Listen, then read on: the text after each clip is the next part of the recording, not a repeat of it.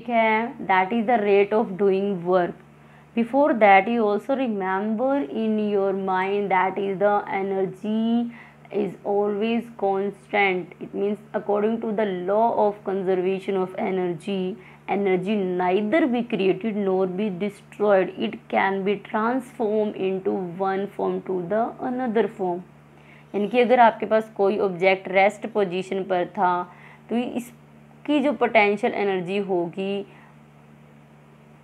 वो आप कन्वर्ट कर सकते हो इन काइनेटिक एनर्जी या फिर कह सकते यहाँ जो ग्रेविटेशनल एनर्जी इस ऑब्जेक्ट पर लग रही है, उसे आप चेंज कर सकते हो in kinetic energy so energy की एक फॉर्म को हम दूसरी फॉर्म में कन्वर्ट कर सकते हैं. केमिकल एनर्जी को आप इलेक्ट्रिकल एनर्जी में चेंज कर सकते हो बाय यूजिंग द इलेक्ट्रिसिटी और you can see electrical energy को हम केमिकल एनर्जी में कन्वर्ट कर सकते हैं। सो so, अलग अलग फॉर्म्स हैं एनर्जी की जिन्हें आप एक से दूसरी फॉर्म्स के अंदर कन्वर्ट कर सकते हो।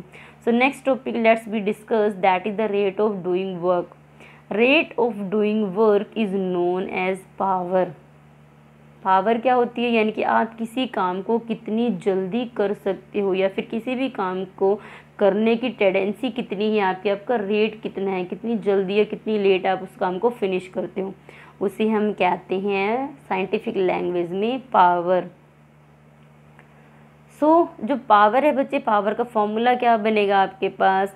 पावर की डेफिनेशन आपको गिवन है that is the rate of doing work is known as power और you can see the rate of doing work और you can see the rate of transform of energy यानी कि एक energy की form दूसरी energy की form में convert हो कितनी कन्वर्ट होती है, वो कितना टाइम पीरियड लेती है, किस रेट से वो कन्वर्ट हो रही है, उसे हम कहते हैं पावर सो पावर को हम लिख सकते हैं वर्क बाय द टाइम यानी कि आपने कितना काम किया और उस काम को करने में आपको कितना टाइम लगा, वो कहलाएगी आपकी पावर। पावर की जो ऐसा यूनिट होती है, वो होती है वॉट। इसे आप डब्लू से भी रिप्रेजेंट कर सकते हो, या फिर आप इसकी फुल स्पेलिंग लिख सकते हो। जो वॉट इसकी यूनिट है बच्चे, वो दी गई थी साइंटिस्ट जैम वॉट्स के नेम पर। नेक्स्ट आता है आपके पास जो वन वॉट है, उसे आप कैसे डिफाइन कर सकते हो? वन वाट को आप डिफाइन कर सकते हो। The power of an agent you can say किसी भी ऑब्जेक्ट की, हम उस पावर को वन वोट कहेंगे। अगर वहाँ पर जो वर्क है, यानी कि जो भी काम किया जा रहा है, वो वन जूल पर सेकंड हो। अगर कोई भी ऑब्जेक्ट एक जूल एनर्जी का यूज़ करके, एक जूल एनर्जी यूज़ करता है एक सेकंड में उसकी उस टेंडेंसी को हम बोलते हैं वन वॉट सो पावर कितनी हुई उस ऑब्जेक्ट की? वन वोट सपोज़ करो आपके पास बल्ब है। बल्ब आपका वन सेकंड के अंदर वन जूल एनर्जी को यूज़ कर रहा है।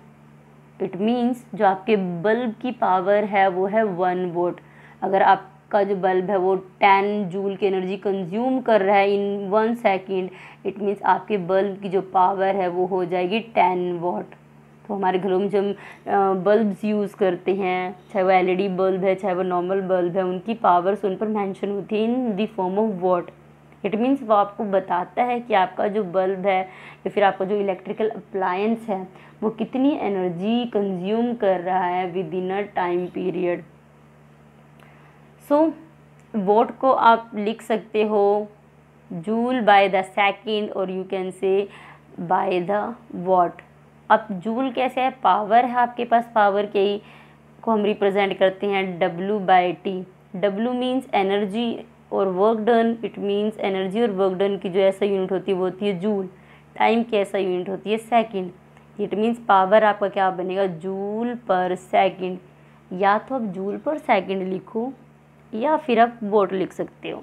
तो आपके पास चॉइस है. अब क्या है जो हम घरों में नॉर्मली यूज़ करते हैं, वो छोटे स्केल पर होता है.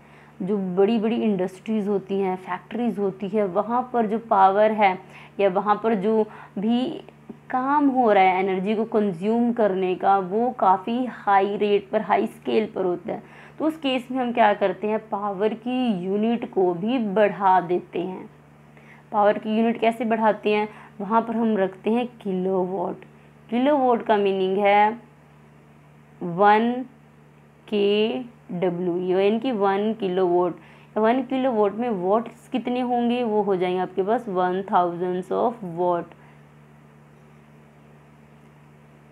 next आपके पास वन किलो वोट के अंदर वन थाउज़ेंड वोट हैं, या फिर सॉरी वाट हैं।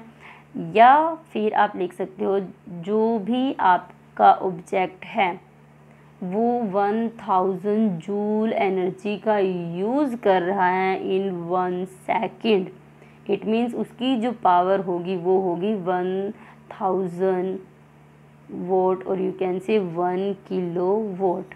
So अगर आपके पास कोई भी इक्वेशन मान लो टेन किलो वोट आपसे पूछ लिया, अगर टेन किलो वोट में कितने वोट्स होंगे? तो आपको जस्ट टेन और इस के को मल्टीप्लाई करना है। यानी कि टेन मीन्स टेन और K means kilo means one thousand it means ten thousand watt की जो एनर्जी है वो आपका ऑब्जेक्ट वन सेकेंड में कंज्यूम कर सकता है।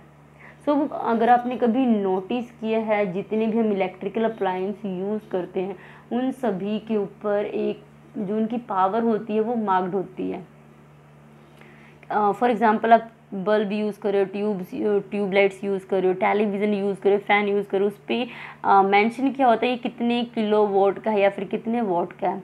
अगर आपके पास कोई इलेक्ट्रिकल अप्लायंस है जो कि सपोज़ करो वन फिफ्टी वोट का है इट मीन्स ये इलेक्ट्रिकल अप्लायंस एक सेकंड में वन फिफ्टी जूल की एनर्जी कंज्यूम करेगा। सो so, ये सिंपल मेथड है पावर को समझने का। We obtain average power by dividing the total energy consumed by the time taken. यानी कि अगर आपको एवरेज पावर निकालनी है किसी भी केस में तो आप एवरेज पावर कैसे निकालोगे? जितनी भी आपने एनर्जी कंज्यूम किया, मान लो फ़र्स्ट टेन टेन सेकेंड के गैप पे आप एनर्जी का रिकॉर्ड रख रहे हो या एनर्जी को रिकॉर्ड कर रहे हो फ़र्स्ट टेन सेकेंड में आपने ten energy, ten joule energy consume की है नेक्स्ट टेन सेकेंड में फाइव फिफ्टीन जूल की है नेक्स्ट टेन सेकेंड में आपने टेन जूल की है। तो जितनी भी आपने एनर्जी कंज्यूम की, उन सबको ऐड कर दो सम करना है आपको। प्लस जितना भी आपको टाइम लगा, उस टाइम पीरियड से डिवाइड कर दो। सपोज़ करो मुझे थर्टी सेकेंड लगे हैं तो थर्टी सेकेंड से मैं इसको डिवाइड कर दूँ। जो हमारे पास आंसर आएगा, वो आंसर होगा आपके पास एवरेज पावर का।